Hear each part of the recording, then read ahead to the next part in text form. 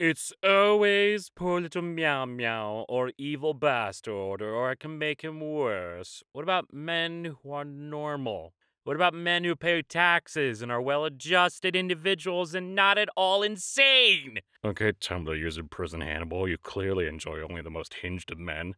I don't know if I can defend myself against this one. Pics that make you go, hmm.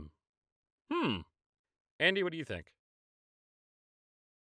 Did it hurt when the little people inside your head refuse to follow your carefully plotted novel outline? Extremely!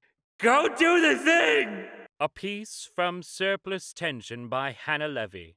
Sentinels attached to entire bird legs, which could make getting around either really easy or really hard. I'm not sure. If I'm funny enough to end up in a PM Seymour VA video, then that means I'm worth something in life. All right, I'm gonna stop you right there. Hold on. All right, Andy, just put put the image away for a second. Let me talk to him. To Wool Jester and to everyone listening to this right now, you are all worth something. In fact, you all have so much value to yourselves and to people around you who love you. And you might sit here and think, there's nobody out here who could possibly love me, because I can already imagine somebody writing that comment right now just to be the outlier.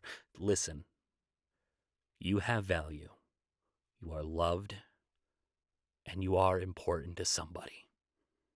Okay? Okay. Let's move on. It's touching moment. You know, a nap and a Snickers bar would have solved all of Anakin's problems, but instead, he chucked five Monster Energy drinks, blocked Obi Wan's number, and let himself be bamboozled by the dark side. Well, if you did that, we wouldn't have gotten four, five, and six now, would we? I just woke up and yeah, this isn't a morning app. I can't even read what you people are saying. Yeah, girl, did you get Swiss product appendages? See what I'm talking about? I think it's the universal truth that everyone in our generation takes Pluto's losing its planetary status as a personal offense. Yes, Pluto is smaller than Russia. Why did we ever even consider it a planet? Because it's part of our solar system! Ohana means family! Family means no one is left behind! Honey, I'm pregnant. Hello, pregnant. He whispers, tears of joys in his eyes. I'm dad. How could something be so cute and make me want to vigorously bang my head against a wall at the same time? oh my god. My friend asked me how I learned to cook, and the answer is I didn't. I know like five things about cooking, and they are always use more garlic than the recipe calls for. Eh, fuck it, close enough is a great measurement tool.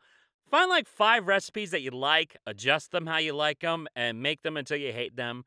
Clean as you go, and if a recipe is from a mommy blog, you will need more spices. If anyone wants to add, please do. None of these are wrong.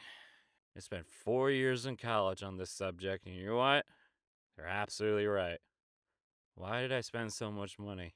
You can't play a plus two on a plus two. Thank you for the cards, but we'll take it from here. The only rules of Uno are what you can convince the rest of the tables the rules are. Is the world really such a terrible place? Yesterday, I asked if oat milk was extra, and the barista said yes. So I said, okay, just regular milk then. And when she gave me my chai latte, she whispered, I used oat milk. Doesn't that make you want to live another day? Here's my life philosophy. Next week, there might be someone ahead of you in line at the store who's short a quarter, and you have a quarter, and you can give it to them.